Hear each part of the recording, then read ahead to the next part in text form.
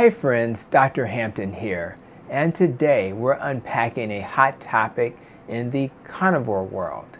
Do carnivores really need supplements? Some would say just eat meat and you're good. And to be honest, for many of you, that's probably true. But just like in life and in medicine, there's nuance. It's not all or nothing. Some of us thrive with just meat, salt, and water. Others, they need a little extra support, and there's no shame in that. So in this video, we'll explore why most people don't need supplements on carnivore. And for the exceptions, who might need them and when, how to know what to watch out for, and what I personally do as a doctor on a carnivore diet. Oh, and let me know in the comments. Do you take any supplements on carnivore? And where are you watching from? Let's start with the foundation. Meat is one of the most nutrient dense foods on earth. When you eat animal foods, especially a mix of muscle meat, organs, eggs, and seafood, you're getting vitamin A as retinol, B vitamins, especially B12, heme iron,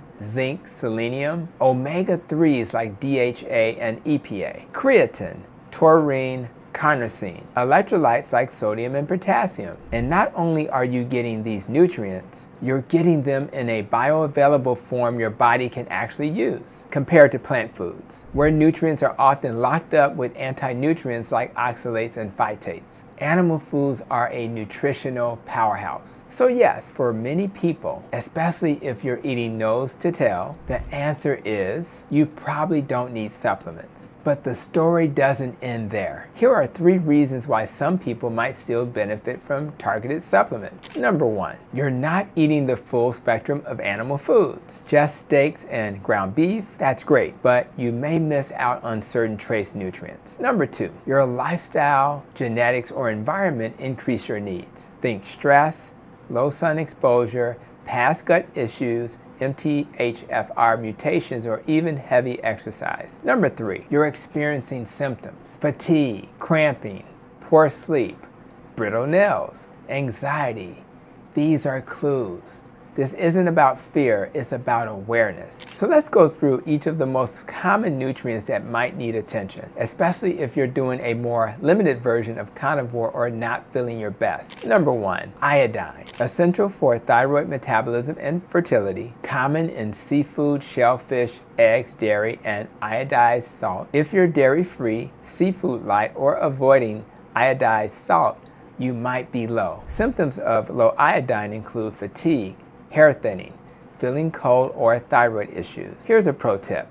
Add shrimp, cod, fish eggs, or even a small pinch of kelp flakes occasionally. Number two, vitamin D3 plus K2. Vitamin D comes from sunlight mostly, also from fatty fish, liver, and egg yolks. Vitamin K2 is in liver, egg yolks, and hard cheeses. Here's where it gets personal. As an African American with darker skin, I naturally produce less vitamin D from the sun. So even though I spend time outside, I still supplement with D3 plus K2, especially during Chicago winters. Low D is linked to fatigue, low mood, poor immunity, bone loss, insulin resistance. If you don't get sun regularly or live far from the equator, you might consider testing your levels and supplementing seasonally or year-round. Number three, magnesium and electrolytes. On low-carb diets, you excrete more water and sodium. This flushes out magnesium and potassium too. Symptoms of low magnesium, muscle cramps, insomnia, eye twitches, anxiety, constipation. You may be fine just salting your food, but if cramping hits, try magnesium glycinate or malate, topical magnesium oil, or even magnesium bath flakes or foot soaks. They bypass digestion and can work wonders. Some folks also benefit from temporary electrolyte powders during adaptation or intense workouts. Number four, vitamin C. Here's the surprise. Your vitamin C needs drop on carnivore. Why? Less oxidative stress, lower glucose which competes with vitamin C transport. You're not constantly inflamed. Still, if you go ultra strict and feel easy bruising, bleeding gums, poor wound healing, or joint pain, it's worth reassessing. Beef liver, kidney, and thymus all contain small amounts of vitamin C. That may be enough. Some people even do well with just rare meat or raw organ supplements if needed. Number five, folate, B6, and methylation support. If your homocysteine is high or you have an MTHFR mutation, you may benefit from extra B6, folate, or B12 supplement. Most folks can get these from liver, egg yolks, and seafood. But if you've had gut issues or genetic variants, a methylated B complex might help. Always test before you guess. Number six, omega-3s, DHA, and EPA. If you're eating only beef and avoiding seafood, your omega-3 levels may not be optimal.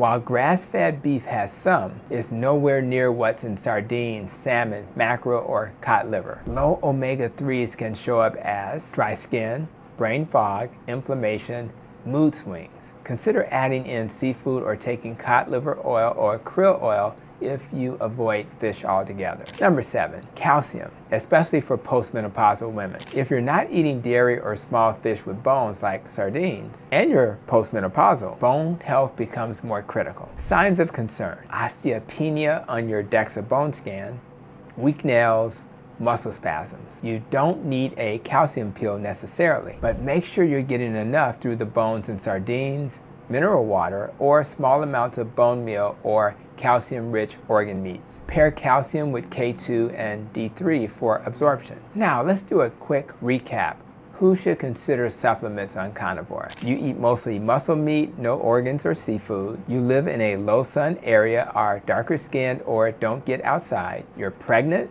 breastfeeding, or postmenopausal. You're a hard training athlete. Think Dr. Paul Saladino, who's an avid surfer. You have gut issues, fatigue, or cramping. Your labs show deficiencies or imbalances. Or you just don't feel as good as you expected on carnivore. None of these means you're failing. It means you're paying attention. And that's what real health looks like. Here's my approach simple and practical. Number one, food first. Get as much as you can from nutrient-dense animal foods. Number two, personalize. Your genetics, stress, and lifestyle matter. Number three, pay attention. Symptoms are data, not defects. Number four, test when needed especially if you're experimenting long term. Number five, use supplements wisely. Not out of fear, but for targeted support. If you're thriving with meat and salt, awesome. But if your body's whispering that something's missing, don't ignore it out of dogma. The goal isn't purity, it's progress. And I'd love to hear from you. Are you taking supplements on carnivore? And if so, which ones help you feel better? Or which ones turn out to be unnecessary? Drop your answers in the comments. And if you found this video helpful, give it a like, subscribe, and check out the video description for a playlist. Or check out the video on the screen. Or simply subscribe to my channel here. I thank you for watching and remember, healing is a journey Meat is powerful, but you are the key. I'll see you next time.